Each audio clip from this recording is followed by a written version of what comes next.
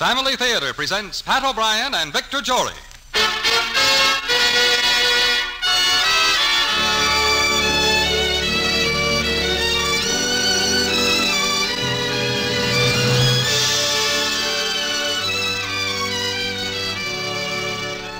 From Hollywood, the Mutual Network, in cooperation with Family Theater, presents Victor Jory in Leo Tolstoy's The Cobbler's Window. To introduce the drama, your host and narrator, Pat O'Brien.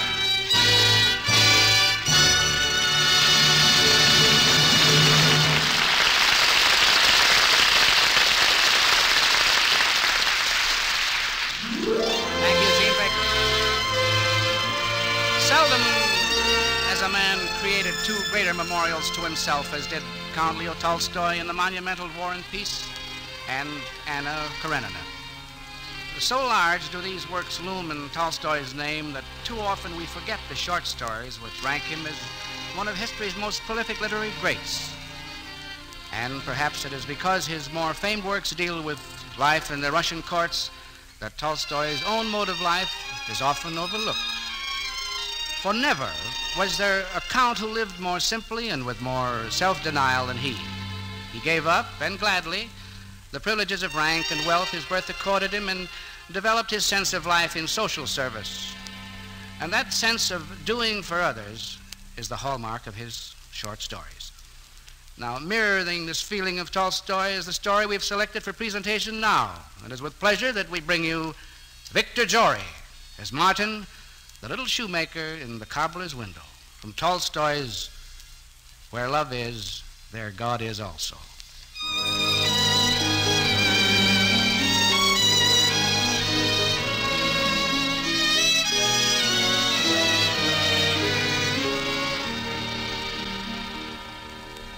And so the story begins.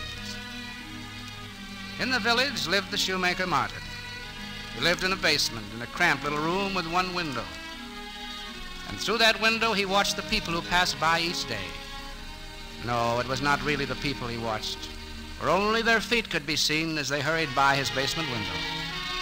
But by their boots, Martin the shoemaker would recognize them. There were the high, shiny boots of the young lieutenant, stepping boldly along with their bright scarlet tassels bobbing.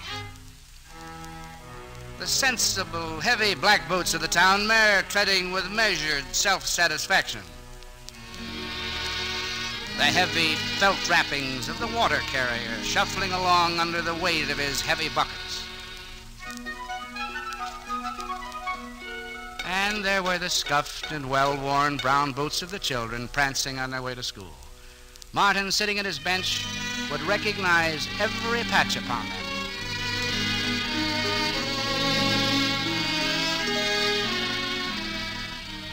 But till the day's end, none of the passers-by had a word for the lonely little shoemaker, save perhaps gruff instructions on his work for them. So at night, the little man would lock up his shop, start down the village street, his thirst for companionship taking him inevitably to the sounds of laughter and fellowship that rang out from the tap. Ah, here's the sad one again. Come, old man, tell us of your sorrows. Vodka, please. All right, but none of your sad talk tonight, old man. You discourage my trade with your wailings. My wailings. Oh, is that what the world would call the heartbreak of an old man? Is this my wretched reward? drink your drink, old man, and take your tears away from us.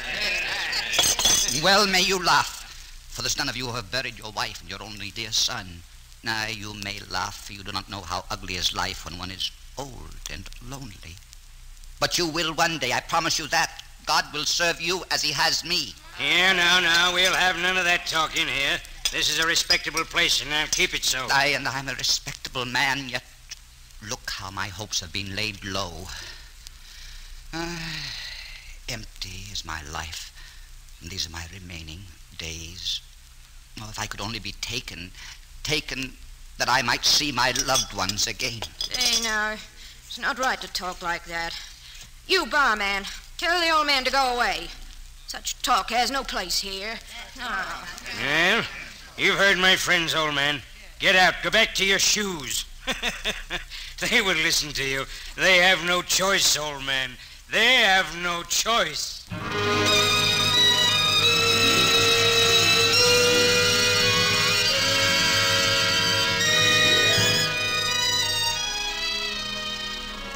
That was the lot of poor Martin.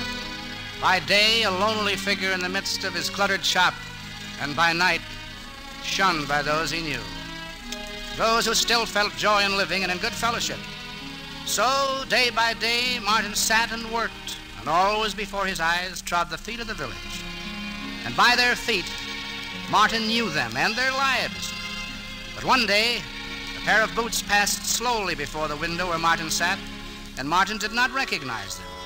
Heavy lace felt boots they were, well worn and patched beyond recognition. And they paused before Martin's little window. Then the door opened. Yes?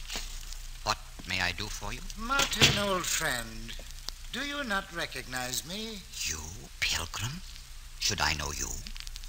Who is it that calls Martin old friend? It is Stefan Martin. I have walked many weary miles to see you. Ah, dear Stefan, this dim light I, I could not see, but come in, come in. After these many years, I... Aye, aye, it is many years, dear Martin. Yet I still remember the old days. Those happy days when we were as brothers in the village. Ah, they were good days, Stefan. But come, come, I forget myself. Sit down by the table and we will have some tea. Thank you, Martin. Ah, and so you are a pilgrim, Stefan. I had heard you were now a holy man.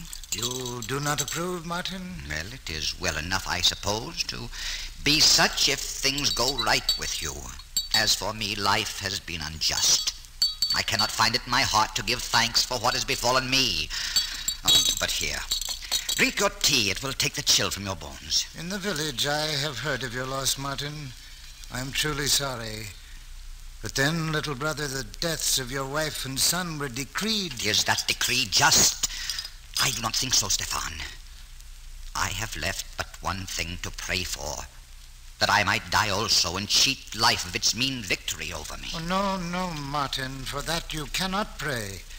It is not for you nor for me to petition for death. If it were willed that your son die, then it was also willed that you live. So it is for the best, even if you fail to believe it. You may say it, Stefan, and for you it may be belief enough. But, little brother, what shall one live for, if not for his beloved family? There are others in this world, Martin, and each does not exist independently of the other. The breath of life is given us, and we must treasure it. When you see that, Martin, you will no longer grieve. Life will seem good to you again. You will see, Martin. Do you not know how to read? Of course, of course. Then go and buy a testament. Read it well. Everything is explained there. A testament? Yes, Martin. Perhaps you will find out why life has been so unrewarding.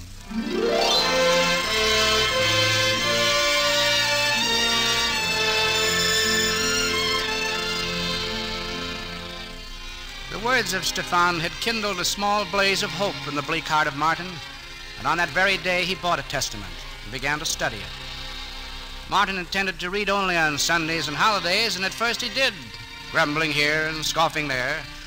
But as the pages were turned, he became caught up in their story, and he read every day, sounding aloud the unfamiliar words. As ye would that men should do to you, do ye also to them likewise. That And as Martin read, joy filled his heart. Though the night grew old and the lamp flickered, he read on, for it seemed that he was finding what Stefan had promised him. Here was the long awaited and quite unforeseen explanation. Eagerly, he began to read of the centurion, the widow's son. And he came to the story of the Pharisee who desired the Lord to break bread with him. He read how the woman that was a sinner anointed his feet and washed them with her tears, and how he forgave her sins. Slowly, Martin read aloud. turned to the woman and said unto Simon, Seest thou this woman? I entered into thine house, thou gavest me no water for my feet, but she hath washed my feet with her tears, and wiped them with the hairs of her head.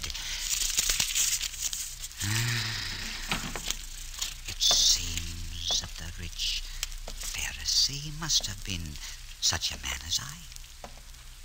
I too have thought only of myself, never of my guest. And in the Pharisee's house there was not the least care taken of his guest, though it was the Lord himself. If he had come to me, should I have treated him in the same manner? Thus, with this thought in his mind, Martin rested and soon fell asleep. And as he slept, the small room took on the pre dawn chill, and the kerosene and the lamp burned low until the flickering flame finally died. And still, Martin slept. Martin. Uh, huh? Martin. Who is here? Hello. Ah. well, I must have must have been the wind in the eaves. A silly old man's fears. Martin. Martin, look tomorrow on the street. I am coming.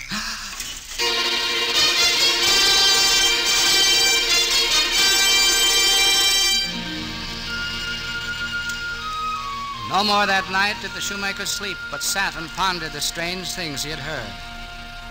Soon the first gray light came in the little basement window, and as the shoemaker arose, he lighted the stove, put the water in the samovar, took his apron from the hook by the door, and sat down by the window to work. But the words he had heard in the night came back to him, and Martin looked out the window more than he sewed on the boot in his hand. Finally, he saw the ragged, patched boots of an old soldier, Peter, who was painfully shoveling the snow away from his shop. Peter stopped often to rest and beat his hands together in a feeble attempt to warm himself. The little shoemaker laid down his awl, rose from his stool, and went to the door. Come in. Come in, Peter, and warm yourself a bit. You must be cold. May you find reward for this, shoemaker. My old bones ache with the cold. Come here by the stove, man. No, no, no, no, no. Don't, don't trouble to wipe your feet. I will clean it up myself. Here now, drink, drink a glass of tea. It will dispel the cold for a time.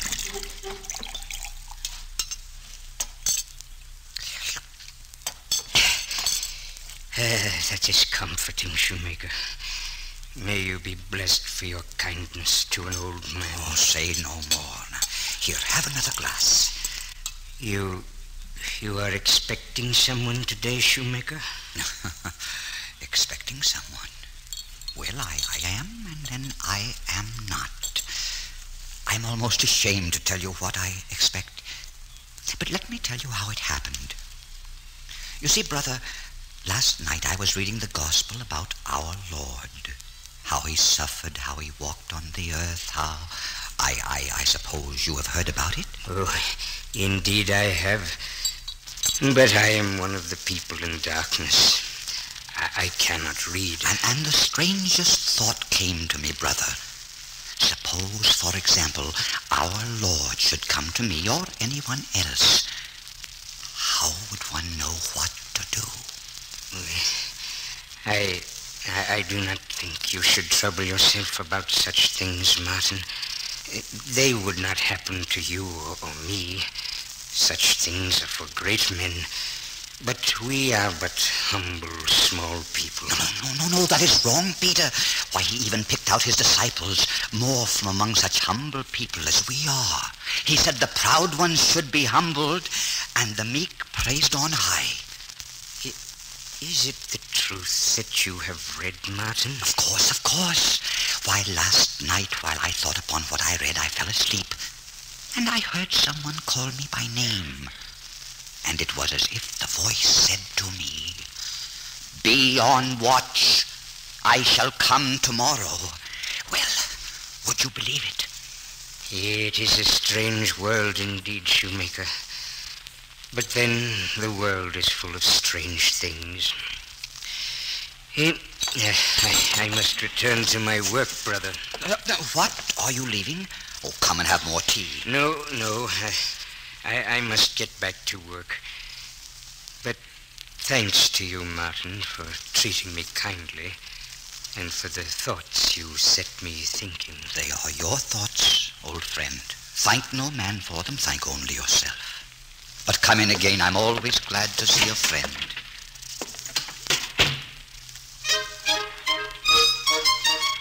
By this time, the inhabitants of the town were up and about their business, and the traffic in front of the basement window grew heavier.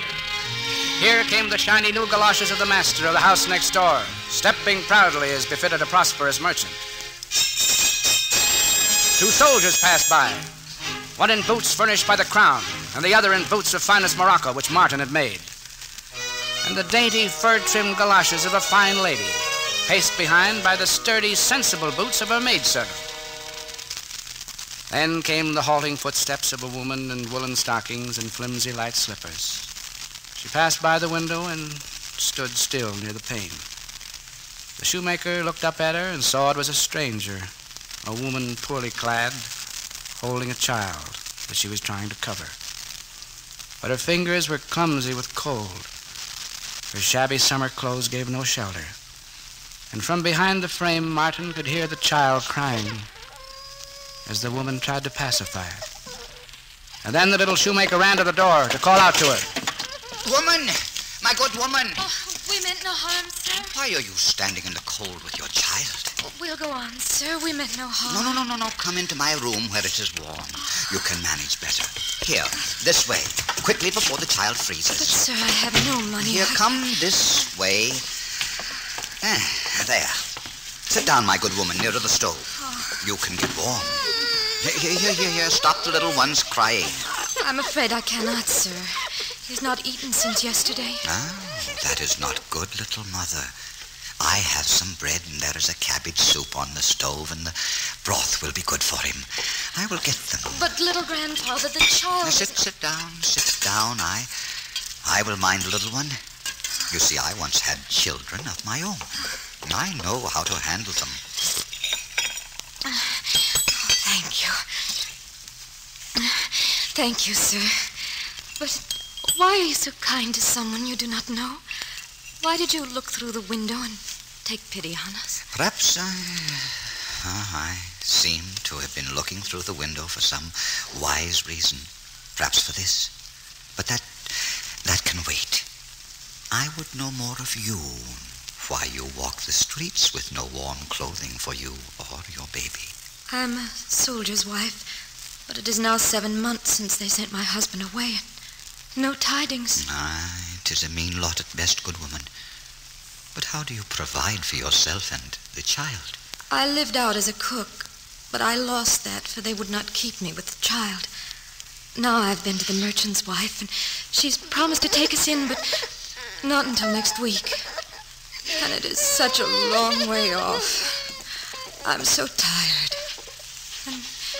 He's tired too, my heart's darling. Ah, and you have no warm clothes. Tis two days since I sold my woolen shawl for a twenty kopeck piece. Here. Here, little mother. Here, this coat is a poor thing, yet you may turn it to some use. Oh, grandfather, you're so good, so good. People like me see very little of people like you. It's beatings and hardship that are our lot. Ah, a thousand thanks, little grandfather, and bless you. Uh, now I, I must take my leave. Uh, here, here. Take this. For the sake of your child, woman. It's only a 20 kopeck piece, but it will redeem your shawl. Oh, bless you, sir. Bless you. Now, here, here, now, no, no crying. You wrap yourself warmly. The, the wind is bitter.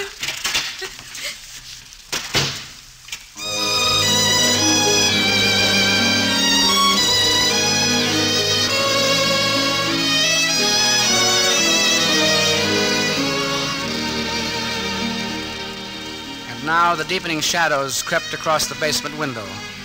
But still the shoemaker sat before the window, patching and mending. And still he glanced off and out into the street. Then, as the dusk filled the room, he saw an old apple woman in front of his window, on her shoulder a heavy bag of apples. And as she struggled to shift the weight of the bag, Martin hurried to help her. Here, Mother, let me help you. Uh, the bag is much too heavy for you. Eh? What's that? Oh, thank you, sir. A thousand thanks. oh, the bag is torn. I can't manage. Oh, they're, they're rolling all over the Now, street. now, now, don't you worry, Mother. I'll pick them up for you. Here, here, boy, you stop that. a pineapple and not one penny do I pay for it. Stop him! Stop him! Catch the little villain! Here, here, boy. No, no, I'm not taking it. Let me go. Boy, no, boy, no, let me... stop that. Let me have him, sir. I'll take charge of the rascal. I'm going to take him to the police. No, no, Yeah. Let him, let him go, Babushka. He will never do it again, huh? Eh. Forgive him for the love of eh. God. Oh, let him go indeed. Forgive him.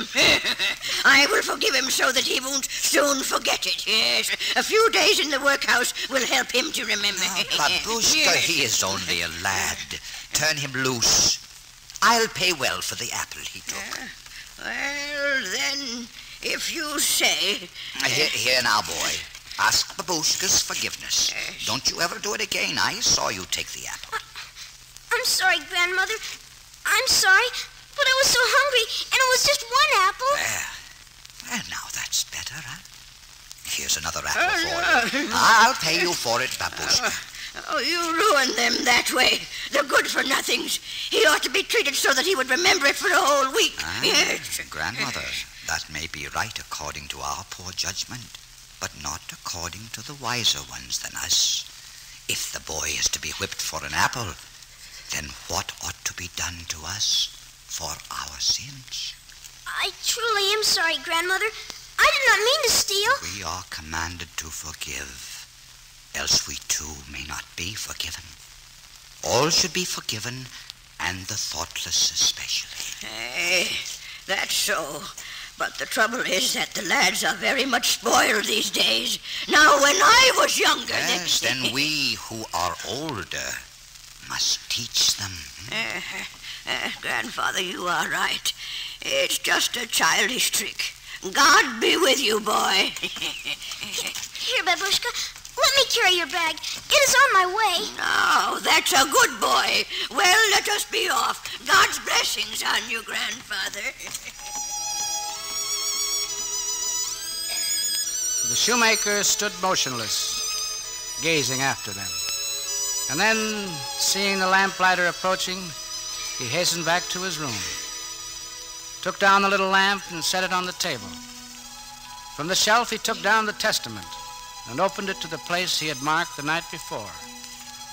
And as he looked at the page before him, the little shoemaker thought again of his strange dream. Ah, Twas a foolish man you were, Martin, to expect our Lord to come calling on you. But it's of no matter. The day was well spent in his name. Huh? What was that? Martin. Ah, Martin, did you not recognize me after all? Who? Who was it? It was I, Martin. And it was I, Martin. And I, too, Martin. And I, Martin. Read the page before you, Martin. Read, and you shall see. For I was hungered, and ye gave me meat. I was thirsty, and ye gave me drink. I was a stranger, and ye took me in. And inasmuch as ye have done it unto the least of these my brethren, ye have done it unto me.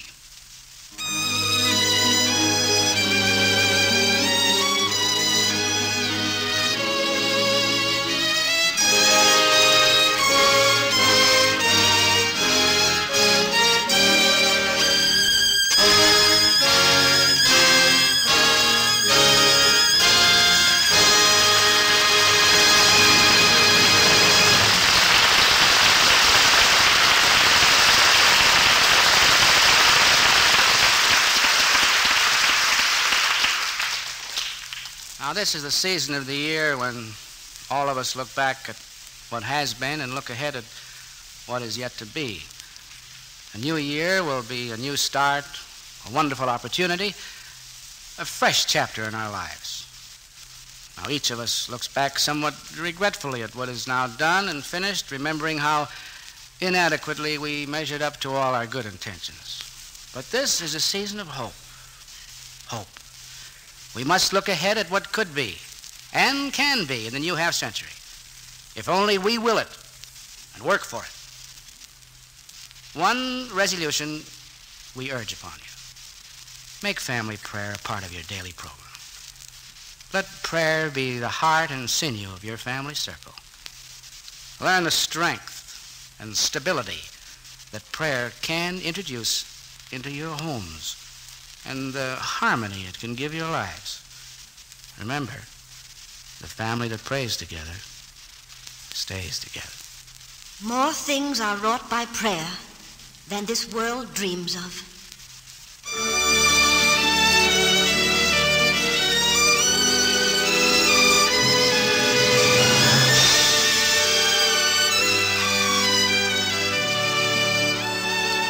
From Hollywood, Family Theater has brought you Victor Jory in The Cobbler's Window with Pat O'Brien as your host and narrator. Others in our cast were Robert Griffin, Walter Burt, Gene Bates, Martha Wentworth, and Johnny McGovern. This adaptation of Count Leo Tolstoy's classic was written by Arthur Sawyer with music composed and conducted by Harry Zimmerman and was directed for Family Theater by Jaime Del Valle. Our series of Family Theater broadcasts is made possible by the thousands of you who felt the need for this type of program, by the Mutual Network which has responded to this need, and by the hundreds of stars of stage, screen, and radio who have so unselfishly given of their time and talent to appear on our Family Theater stage. To them and to you, our humble thanks. This is Gene Baker inviting you to join us next week at this time when your Family Theater will present Ruth Hussey, George Murphy, Charles Ruggles, and Parley Baer in Irvin S. Cobb's story of that lovable old Judge Priest. Join us, won't you?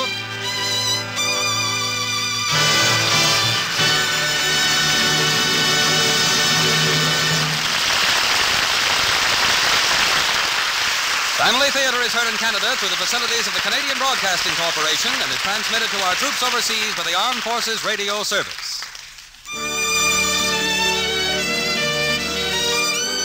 This is the world's largest network, the Mutual Broadcasting System.